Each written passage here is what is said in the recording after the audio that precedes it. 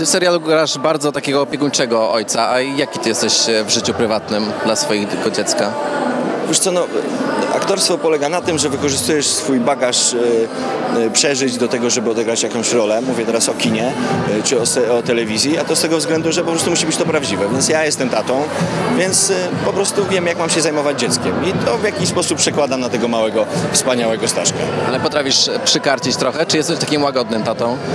Wiesz co, no to zależy, no oczywiście jestem tatą, więc muszę też jakby trzymać, no, no on ma 7 lat dopiero, więc nie może decydować w- o swoim życiu, natomiast e, mm, daję mu oczywiście wolną rękę, nie wymuszam niczego e, i natomiast kontroluję to na tyle, żeby był bezpieczny i żeby rósł zgodnie z zasadami, według których chcę go wychować. A powiedz, ty chciałbyś, żeby on poszedł e, w kierunku takim jak ty, w sensie aktorstwo?